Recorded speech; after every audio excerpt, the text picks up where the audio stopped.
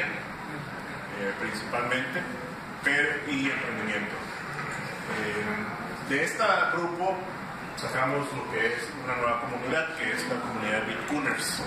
Bitcoiners es el grupo, un grupo de usuarios, podemos llamarlo así, de Bitcoin, que la idea es de alguna manera eh, usar esta tecnología, compartir los servicios que, se están, que están saliendo sobre esta tecnología y también ver la, pues, los beneficios que nos pueden traer a, tanto como para usuarios, como consumidores desde el punto de vista de finanzas personales, como emprendedores para ver qué servicios adicionales podemos eh, potenciar sobre esta tecnología.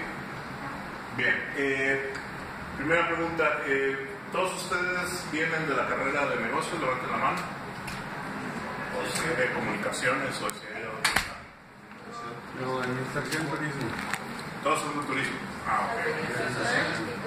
Administración perfecto. Muy bien. Eh, y levanten la mano también si ustedes ya han escuchado de Bitcoin. Nadie. Absolutamente. Ahí parece que una persona dijo que sí. Este.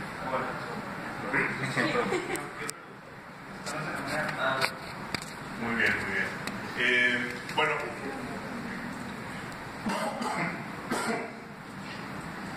Primero, eh, ahorita el, Bitcoin podemos llamarlo una tecnología disruptiva, ¿no? Eh, disruptiva, ¿qué significa? Por ejemplo, ¿ustedes alguna vez han escuchado hablar de Uber? Levanten la mano. Uber. Uber. Ok. Más personas han escuchado de Uber. Eh, que podemos decir que Uber, no lo conocen, para los que no conocen, es un servicio en donde cualquier persona básicamente hacerlas como de taxi, en donde vía una app puedes pedir a un driver que vaya por ti y te lleva donde necesitas, disrumpiendo la cadena tradicional eh, de, distribución de cómo operan los taxis. ¿no? Eh, ¿Alguna vez han escuchado hablar de, de Napster, por ejemplo, o de um, Casa o estos servicios de descarga, como BitTorrent. Ok. Bitcoin de alguna manera tiene, eh, bueno, el punto de, de BitTorrent es que es una tecnología muy, en término en inglés es resilient, en español sería como que muy adaptable o muy a prueba de ataques, podemos llamarlo así. Es una tecnología que inclusive ha tenido a grandes gobiernos tratarlo de parar a nivel internacional y simplemente no, han podido. Eh, ¿Por qué? Porque es una tecnología distribuida. ¿Qué quiere decir que es distribuida? Que no hay una empresa gobernando o no hay un punto central en que gobierne toda esta red. De hecho, el Internet podemos llamarlo así, que es una aplicación distribuida. ¿Por qué? Porque el Internet no forma parte varios servidores en varios puntos del planeta en donde de alguna manera si se caen este, varios servidores, todo el Internet sigue operando independientemente que, que hayan estas fallas. ¿no? Bueno, Bitcoin básicamente funciona de esa manera, es una tecnología distribuida formada por una gran red de operadores que van distribuyendo estos bitcoins a través de la red.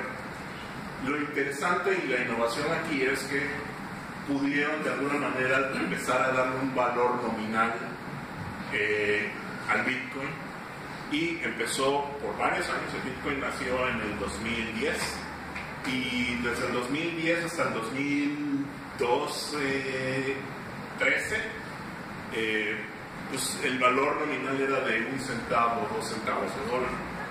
Sin embargo, el año antepasado, llegó al punto más alto donde el valor por Bitcoin era de mil dólares. Entonces hemos visto cómo esta tecnología, aparte de funcionar, ahora podríamos decir tecnológicamente, eh, también ahorita ya, está, ya tiene un valor, tiene una atracción que básicamente este valor que nosotros nos hemos dado es precisamente un reflejo de la adopción que ha tenido en el Internet. Ahora, ¿por qué deberíamos realmente meternos en Bitcoin? ¿no? ¿Por qué Bitcoin? Bueno, ok, llegó a mil dólares, pero ¿y cómo? Y, eso que conmigo, ¿no? ¿Qué tiene que ver conmigo? Vamos a ver básicamente un análisis de cómo es que estamos en este país. Tenemos el problema de devaluación constante. ¿Quién se acuerda de la devaluación de julio? ¿Nadie se acuerda de la devaluación de julio? Cuando sus pesos pasaron de ser 15 pesos a 17. ¿Quién se acuerda de la del 95? ¿Quién se acuerda de las del 2000? No sé, lo que ustedes quieran, ¿no? Es una historia que, no- que siempre se va a repetir, evaluaciones constantes, ¿no? ¿Qué pasa? ¿Cuándo fue la última vez que celebramos una revaluación en- en- del peso en México? Exactamente.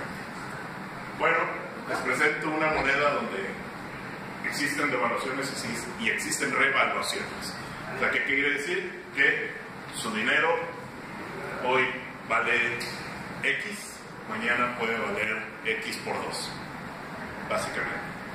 Eh, ¿Qué pasa? Tenemos monopolios, tenemos problemas de que, por ejemplo, tenemos siete bancos en todo el país, muchos, si no es que todos extranjeros. Eh, no tenemos muchas alternativas bancarias y esto se va de mancuerna con falta de cultura financiera. ¿Qué hacemos cuando sacamos dinero de, de- de- que nos pagan? O nuestro domingo, o donde sea que saquemos dinero. Va y lo meten al banco. ¿Por qué nada más al banco y por qué no en una bolsa? Que no sabemos. ¿Por qué no compramos bonos? Pues porque no sabemos. ¿Y por qué no compramos acciones? Pues porque no, no sabemos. ¿Y por qué no nos metemos en fondos mutuos? Porque no sabemos. O un fondo de ahorro. O sea, tenemos una falta de cultura financiera de qué hacer con nuestro dinero. Así que, pues, monkey see, monkey do, ¿no? O sea, lo que el mono ve es lo que el mono hace. Todo el mundo va a meterlo al banco, ahí vamos nosotros a meterlos al banco. Luego tenemos toda una serie de problemas, ¿no? Pues tenemos corrupción. Olvídense de la corrupción política, estoy hablando de la corrupción financiera. Por ejemplo, ¿qué pasa si tenemos un problema con los bancos? No podemos resolverlo. ¿Por qué? Porque son monopolios y no tenemos una alternativa. Entonces el banco puede hacer todo lo que ellos quieran, realmente nosotros. Hay una página muy interesante llamada robosbancarios.com.mx donde se listan a todas las personas que básicamente ¿A quién le, ha, han clonado la tarjeta alguna vez? Y que de repente ve su... A las 12 de la noche exactamente, ¡pum! Un retiro de 5 mil pesos. Y al día siguiente otro retiro de 5 mil pesos. Y vamos con, con Don Banco, y oiga, Don Banco, se están robando mi dinero, ¿qué está pasando aquí? Y Don Banco les dice, bueno, no te preocupes, ahorita abrimos una investigación y te damos tanto dinero para que, recupere, para que recuperes tu inversión, ¿no? Y si vemos que efectivamente hubo un problema, pues ya no te cobramos. Este... Ah, ok. Y así ha pasado, pero estamos a merced de ellos y su investigación, que nosotros nunca conocemos los detalles ni nada por el estilo, él nos puede decir con la mano en la cintura, no, pues fíjate que aquí no vemos ningún problema, así que de repente todo este dinero no nos debes. No. Entonces, bueno, hay una serie de problemas, hay inseguridad, hay corrupción. Ahora, ¿para dónde vamos? Tenemos una ley antilavado de dinero, la cual hace las cosas aún más difíciles. Todo el mundo ya sabemos la, la penetración tan grande que ha tenido Hacienda en estos últimos años. Para las personas que, para los maestros, eh, hace 10 años, hace 20 años, Hacienda era, pago lo que reporto y